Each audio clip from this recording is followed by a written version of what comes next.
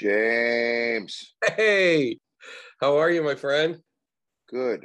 Uh oh. I'm gonna have to turn this whole thing around. You know, some people got some good stuff out of uh, lockdown. And I must say, you wasted no time. You and Charlie Hunter started jamming the minute you couldn't leave your house. How did that come about? Uh, well, thank God for Instagram, I guess, in that case, because it was just, we were just doing 30 second things just to give ourselves something to do. I mean, Charlie's always, he's very, very, very good and faithful at posting and at getting things happening in different grooves. And he started to send some stuff my way. And, you know, it reminded me how much fun we've had together in past incarnations. And uh, then it seemed to make a natural sense for us to at least try to do a larger project. Um, and he had access to our friends from Butcher Brown over in Virginia. And uh, so he went up to their place and they masked up and they laid a bunch of grooves down and then they sent them over to me and it was on me to figure out the other bits, you know, the melody and whatever. So, So a true collaboration. mhm. Yeah. I mean, I'm happy just to be able to make music, the stuff that I believe in, and put it out with people I love to work with, and and be able to continue to come up to Canada every once in a while and and sing for you kids. Yeah, you know what? The joy on your face is palpable on some of these videos, man. You guys are killing it. Do you have a favorite uh, moment so far off stage? Because you haven't been touring for a few years. So when you're traveling around, did you have one of those moments where it's like, this is it? I'm so glad to be on the road. Well, most of that happens right after a really good gig happens. You know, you come backstage and you're just there with your pals in the band, and and everybody knows that it happened, and uh, you know, you know, you fed the audience, and you know that they're happy about it, and maybe there's a really good bottle of wine back there to help you finish off the evening. and what about moments on stage? Have you had a, a a favorite, like maybe a venue you've never played before that you got to?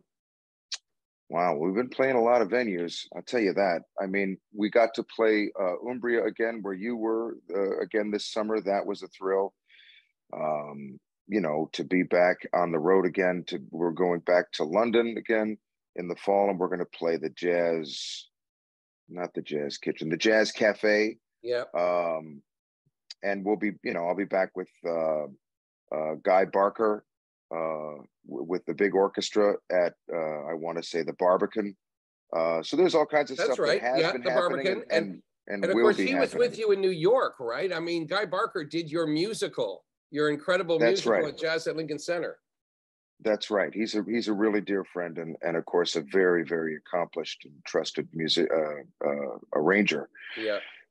So we always have a good time together, and uh, I'm looking forward to that again coming up. You mentioned Perugia, and I tell you, when you were in Italy, probably one of the most surreal moments I will never forget was listening to your Christmas record in Italy in the summer on a patio Right. looking out over a lake.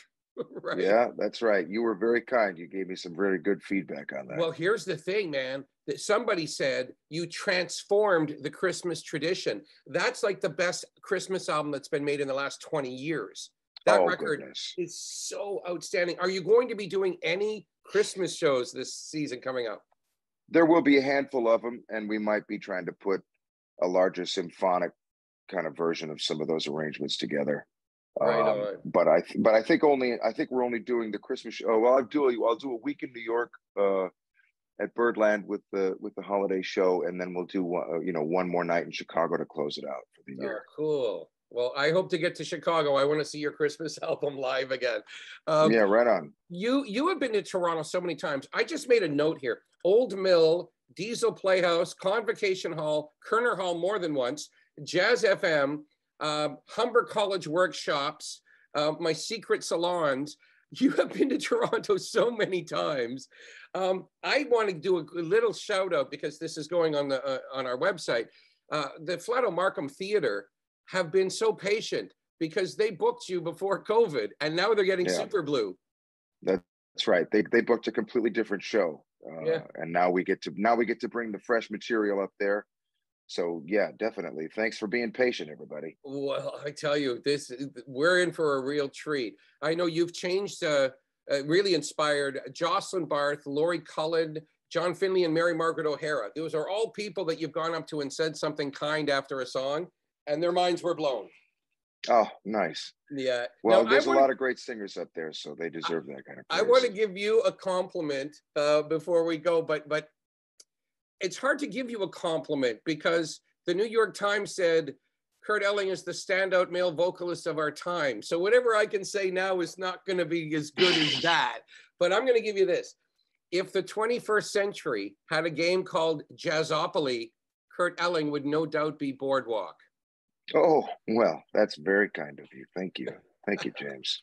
Well, I am really looking forward to seeing you. You'll be here with uh, Corey, DJ Harrison, and Charlie Hunter.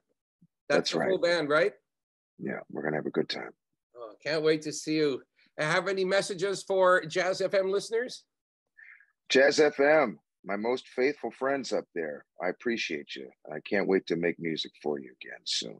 All right. Thanks, Kurt Elling. See you soon, brother. Thank you, James. Right.